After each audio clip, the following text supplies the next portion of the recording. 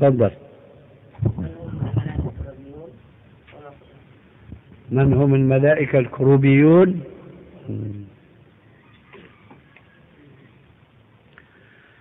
لم يثبت فيما علمت حديث فيه ذكر هذا الاسم للملائكة الملائكة الكروبيون. والحقيقة أن هذا الاسم منذ نحو ثلاثين سنة لم يكن مر بي في أحاديث التي كنت قرأتها في مئات إن لم أقل ألوف الكتب أكثرها مخطوطة حتى سمعتها أو سمعت هذا الاسم في منى في موسم من مواسم الحج. كنت جالسا في ليلة هادئة وجميلة من أيام منى. أتحدث مع بعض إخواننا من أنصار السنة المصريين والسوريين وغيرهم. لما دخل علينا شيخ سمته لا بأس به. سلم وجلس واستمع. وبعد أن توقفت قليلا عن الكلام دخل هو في الموضوع يتكلم. تبين من كلامه أنه من الذين درسوا في الأزهر ويحملون في طوايا نفوسهم آه، بغضا للدعوة السلفية أو دعوة التوحيد وأنه متأثر ببعض الدعاوى الكاذبة التي تنسب إلى جماعة التوحيد في كل بلاد الإسلام سواء كانوا هنا أو في مصر أو في سوريا أو في غير مكان. وإذا به يتهجم ويقول أنه دعوة الوهابيين بهذا الاسم دعوة جيدة ولكنهم يشبهون الله بالمخلوقات. فسألته كيف ذلك؟ قال إنهم يقولون بأن الله عز وجل سبحان الله يخطئ القرآن وهو لا يشعر.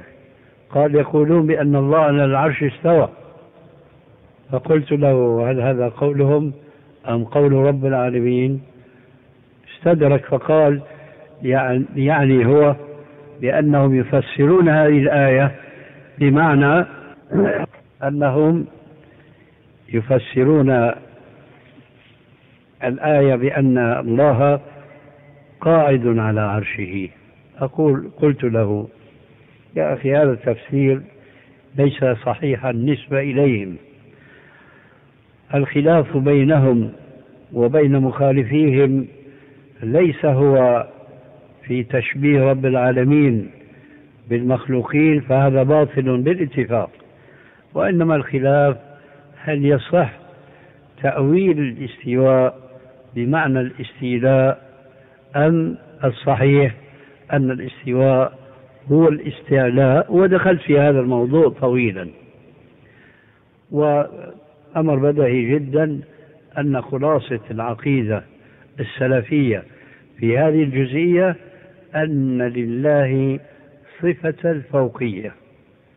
فهو تمسك بهذه وقال هل من معقول أن الله عز وجل يكون فوق فوق العرش؟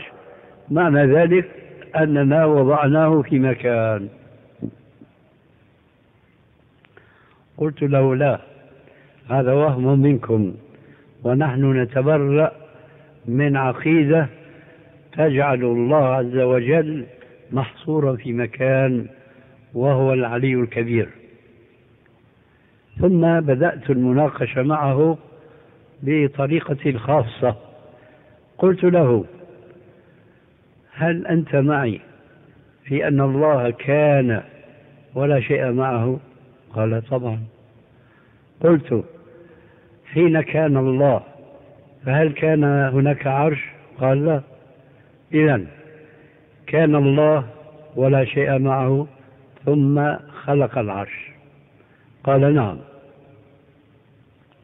تسلسلت معه فقلت له نحن الآن في الأرض فما الذي فوقنا؟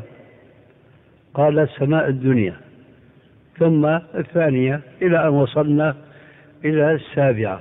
قلت ماذا فوق السابعة؟ قال العرش. قلت وهنا الشاهد. وماذا فوق العرش؟ قال الملائكة الكروبيون. لأول مرة أسمع هذا الاسم ومنذ نحو ثلاثين سنة. قلت ما هذا؟ الملائكة الكروبيون. فوق العرش.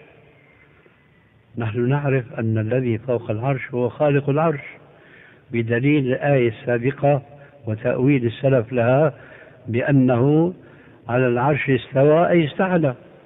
وكما قال بعض المعتدلين في هذه المسألة ورب العرش فوق العرش لكن بلا وصف التمكن واتصال. والله غني عن العالمين. لكن أنا بسمع لأول مرة أن الذي فوق العرش هم الملائكة الكروبيون. هل عندك آية في إثبات أولا أن هناك ملائكة يسمون بالملائكة الكروبيون؟ قال لا. قال طيب قلت طيب هل عندك حديث في أنه جاء ذكرهم فيه بهذه بهذه التسمية؟ قال لا. قلت فإذا من أين جئت بهذه العقيدة أن فوق العرش ملائكة كروبيون؟ قال هكذا درسونا مشايخنا في الأزهر الشريف. قلت يا عجبا أنا أعلم أن علماء الأزهر يقررون على الطلبة في دروسهم ما يتعلق بأصول العقائد وأصول الفقه يقولون لهم حديث الآحاد الصحيحة لا تثبت بها عقيدة. فكيف لقنوكم عقيدة ليس مذكورة لا في القرآن ولا في السنة؟ كيف اعتقدتم فبهت الرجل. ثم تابعت الكلام. قلت له هب أن فوق العرش أولئك الملائكة المسمون عندكم بالكروبيون. فماذا فوقهم؟ وقف الرجل وقف حيران وقد كنت قدمت معه كان الله ولا شيء معه وكان مشتق من كن فيكون. فلم يكن شيء هناك فقال الله لخلقه كن فكان. فإذ انتهى بنا أننا وصلنا إلى العرش وبزعمك فوق العرش أولئك الملائكة. فماذا فوق هؤلاء الملائكة؟ أعدم أم وجود؟ قال لا عدم. لأنه كنا اتفقنا أن لا شيء قبل أن يخلق الله تبارك وتعالى السماوات والأرض. كان الله ولا شيء معه. إذا فقبل أن يخلق الله شيئا لم يكن هناك شيء. فإذا انتهى بك العلم إلى أن فوق العرش الملائكة الكروبيون ولا شيء وراء ذلك من كون لأنه انتهى, انتهى الخلق. فإذا قال السلفيون بأن الله تبارك وتعالى على العرش استوى أي استعلى فلماذا تنسبونهم إلى أنهم حصروا الله عز وجل في كونه؟ ولا كون هناك لأن الكون محصور ومحدود وفي رأينا آخر الكون وأعلاه العرش. في رأيك أنت العرش وعليه الكروبيون ولا شيء بعد ذلك فإذا العقيدة الصحيحة عقلا ونقلا إنما هي عقيدة السلف الصالح لأنهم لم يجعلوا الله في مكان كما تزعمون لأنه لا مكان هناك وراء العرش إنما هو العدم المحض إلا الله تبارك وتعالى.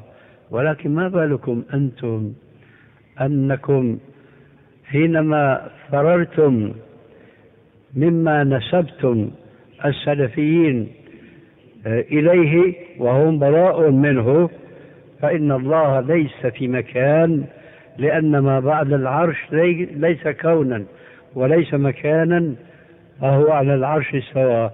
لكن ما بالكم أنتم تفرون من إثبات هذه الصفة لله تبارك وتعالى وهي صفة التنزيه تماما لأنه ليس في الكون. فكيف وأنتم تقولون إن الله في كل مكان؟ تحصرونه في كونه الذي خلقه بعد أن لم يكن له وجود.